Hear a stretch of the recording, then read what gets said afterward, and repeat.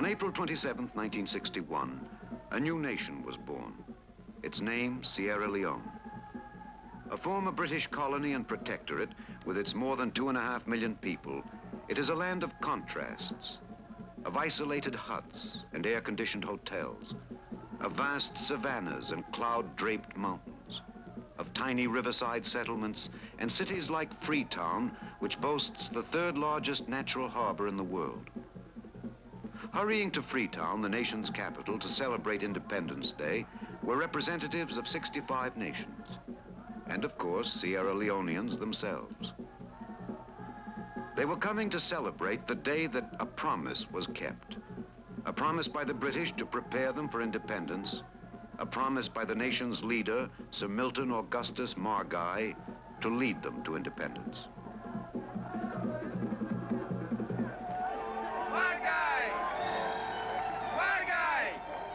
Sir Milton Margai, 65-year-old physician and graduate of the British University of Durham, was to be the first prime minister of the newly independent country.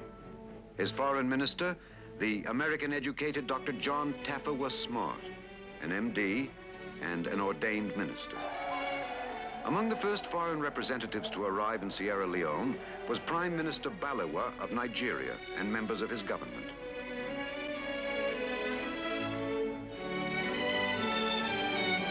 Dr. Smart, who had once taught in Nigeria, spotted an old friend of his among the delegates.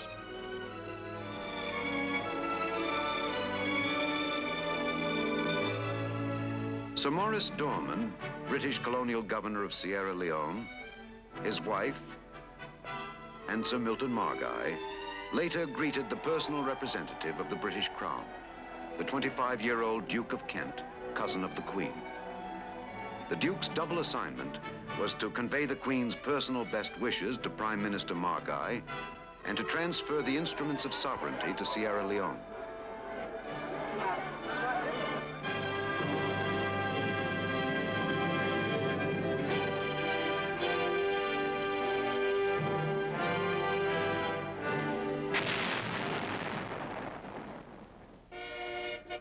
Changing of the colors took place on the night of April 26th.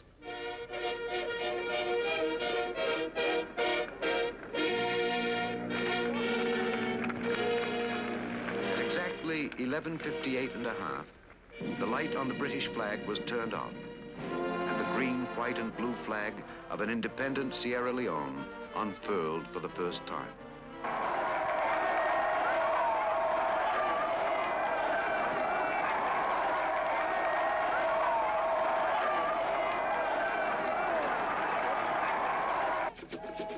Later, the dances started. 1,200 dancers from all 11 major Sierra Leone tribes performed for an audience of 70,000.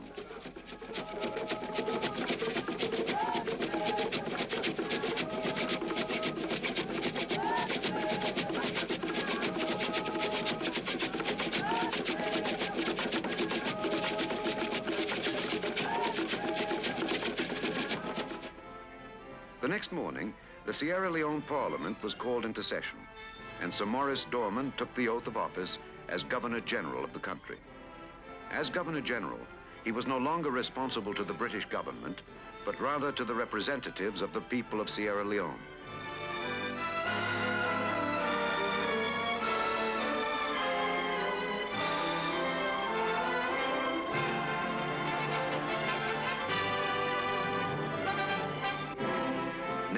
Duke of Kent handed the instruments of sovereignty to Sir Milton Margai. Sierra Leone, the 12th member of the British Commonwealth of Nations, was now officially independent.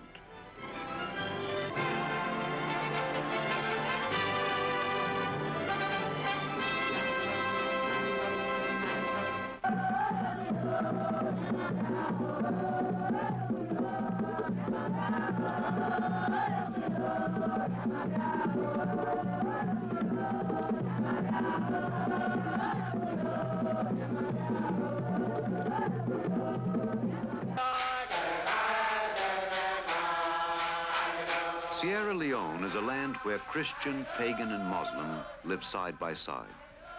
This church was built by Americans. The congregation belongs to the Temne tribe.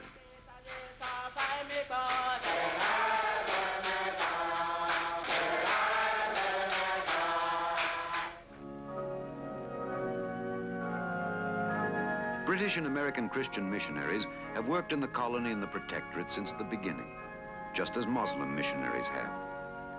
Christianity came from the sea. Islam overland from North Africa. Today, the majority of the people are Muslim. Do tensions exist among them? Apparently not. In fact, the encouragement to build Christian mission schools has often come from the Muslims themselves. At a Muslim ceremony on Independence Day, this theme from the Quran was chosen as if to underline the need for cooperation. If ye are grateful, I will increase thee in power, knowledge, and blessing. But if ye are ungrateful, surely my wrath and punishment are severe and tormenting.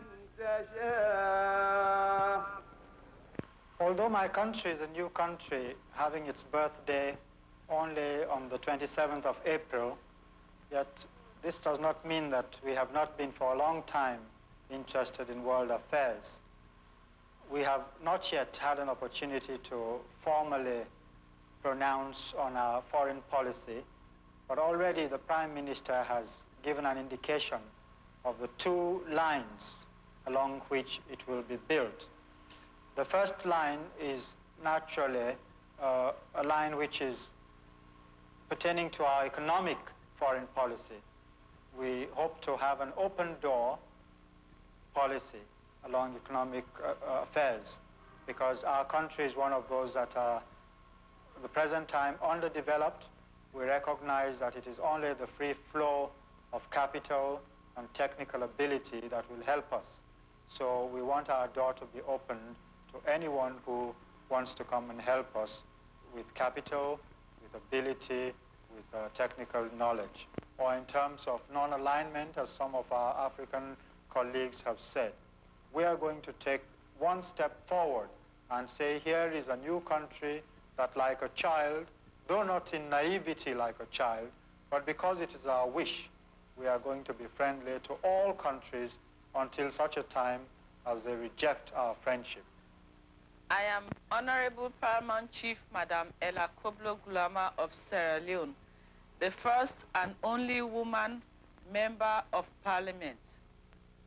Now that our country has achieved, achieved uh, um, independence, I think that the women of my country will be very much interested in more medical facilities, more schools so that our children will become educated. In years gone by, we have suffered from more infant mortality, and the rate at which the death toll was going up was very high. And that for the past few years, our people have become very, very much interested in education. And there is the urge for people to send their children to school.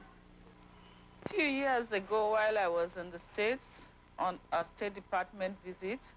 Wherever I went in America, I was asked a question about communism in my country. And at that time, I was hearing about communism for the first time. Now that our country has gained independence, I'm sure that outside people who are interested in communism will make it their business to interfere into our internal workings of our country. I, for one, and I'm speaking for the, for the women folk of my country, will stand against any move to introduce communism in our country. We have far too many things to bother or to think about than communism. We hate interference and we have been practicing democracy and hope to continue to practice democracy even after our independence. Next year, 1962, we hope to have a general election, and it will be the first time all women in Sierra Leone will be taking part in the voting for their representative. And I'm sure that the women are looking forward to that time when they could be well represented in the legislature of our country. After general elections or during the elections, we hope to campaign for as many women as possible so that we can capture as many seats in the legislature. For the simple reason, there are many, many things we'd like to fight for. For health facilities, for education, as I just mentioned, and for other things, the freedom of women, especially in Sierra Leone. We think we want to have ample opportunities given to us and would like to take our place side by side with our men folk in Sierra Leone. Uh, the leaders, many of the leaders in Nigeria and in Ghana have had their education in Freetown. So that uh, Freetown's contribution has been a West African one and not a purely Sierra Leonean. But uh, secondly, a country doesn't live by education alone. It's got to have a strong, viable economy. And it has only been uh, within recent months, recent years, that the economy of Sierra Leone has built up to the point where they can confidently go ahead into the future. At the, during the last election, I made the election broadcast for my party, SLPP. And my promise to the electorate was that if they followed my government, I would lead them to independence within the lifetime of this house. The life of the house will, uh, will will expire next year, about July, but I might spring a surprise and arrange for election earlier. All I would want to do is return to electorate. I've done the duty which I promised you. This is what I said. Now, let us go now to the electorate, and you'll decide what form of government you want. Today, we spoke to Dr. Ernest Eastman, a descendant of the emancipated slaves who had settled in Sierra Leone in 1787. We asked him about the early history of his country. The colony of Sierra Leone was founded by several waves of people of African origin. The first set were slaves in the cities of England who had been freed by the judgment of Lord Chief Justice Mansfield in 1772. On being set free, their masters abandoned them and they roamed about as itinerant vagrants, causing trouble to the poor law authorities of England. Granville Sharp and his friends, who afterwards were responsible for the abolition of the slave trade, 1807, the abolish, abolition of slavery, 1833, formed a society for the relief of poor blacks and collected all these former slaves now destitute in London. Some had been servants from the West Indies, not farm servants, but the house servants there, and some were ex-soldiers from British regiments. They collected them to the number of about 411, and with the help of the British Navy, transported them to the Sierra Leone River. There was no Freetown in those days, and the land was bought from the Temne King. And given over to the English government for the use of these poor blacks who had just come from Britain. About eight years later, there was a war in uh, Jamaica called the Maroon War. And at the end of that war, the Maroons were captured and transported to Nova Scotia. And again, these Maroons from the West Indies were brought to Sierra Leone. And Sierra Leone then had two communities. The settlers, mostly from America, southern states, and the Maroons from the West Indies. In 1807, slave trade was abolished, and the British fleet had the task of intercepting ships taking slaves from Africa to the West Indies and America. these slaves and ships were landed in Freetown and legally and formally set free and the ships destroyed. The main link between the former protectorate of Sierra Leone and the former colony is a meandering railroad 311 miles long. During World War II, the bazaars of India and the jungles of Burma heard Sierra Leone soldiers sing about it in calypso style. The train to Bo she no agree for to go. The engine she done tire for lack of plenty fire. The train to Bo she no agree for to go. But go she does, bringing the bananas and the rice and the palm oil and the spices the produce of the hinterland, into Freetown, making the former colony and protectorate one. And of course, trading is a two-way street, and it is to the coast that those from back country often come to buy pottery and tobacco. And whatever small items of luxury an agricultural people with an average annual income of $47 can afford.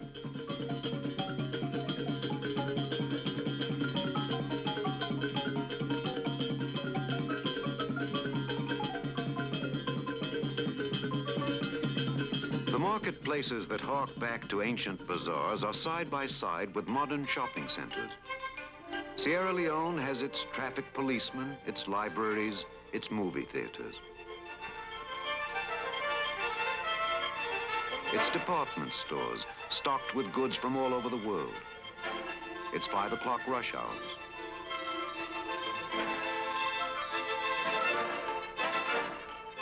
And its new banks and of course, its industries. Sierra Leone, for example, is the third largest diamond producing country in the world.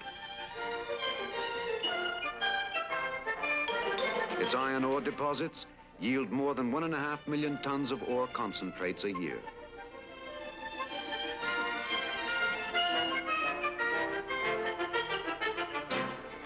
Its exports, though, do not match the cost of its imports. Going out of the country, we have diamonds, iron ore, palm kernels and oil, coffee, cocoa, and cola nuts. Coming in, manufactured goods, machinery, fuel oils, cement.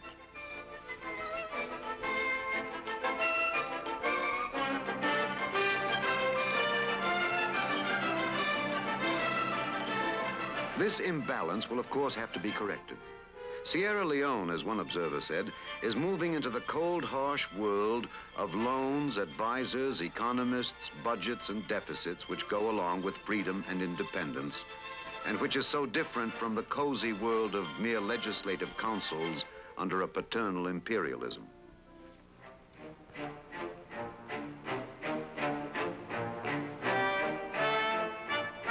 More aware of the challenge of freedom than any outsiders, simply because the challenge is put to them, Sierra Leoneans have started to expand their 3,000 miles of roads, using equipment as up-to-date as found anywhere.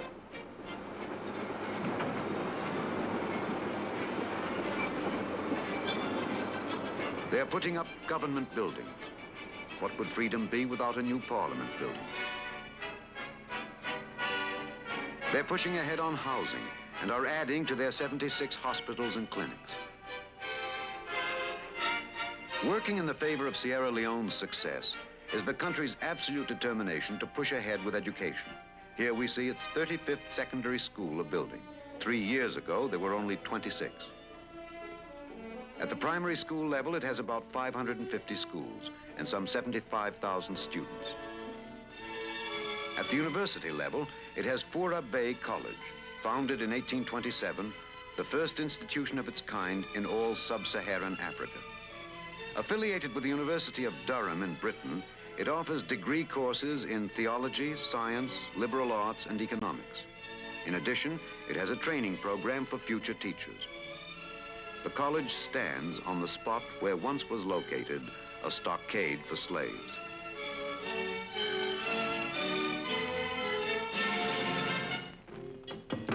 As if saying that the advent of independence was not just a time for dedication, but also of joy, one of the highlights of the week-long independence celebration was a beauty contest.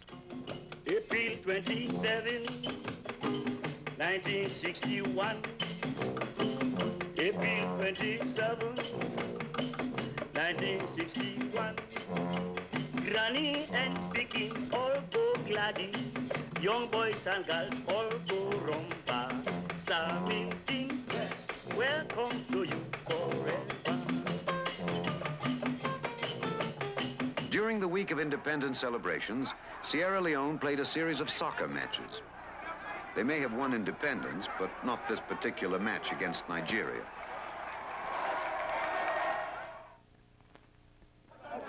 Nine days before independence, Sierra Leone arrested 31 members of a party called the All People's Congress.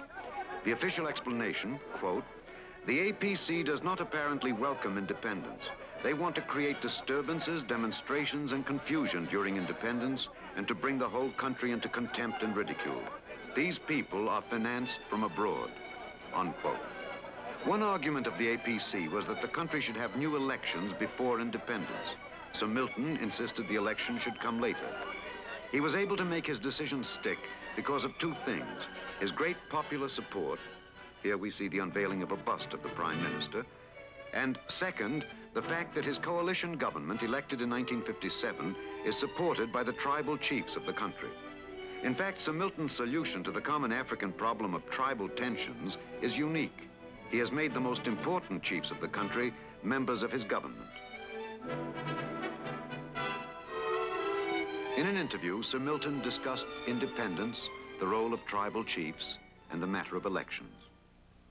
I am very glad for this moment because I had worked for years behind the chiefs and they followed me very carefully.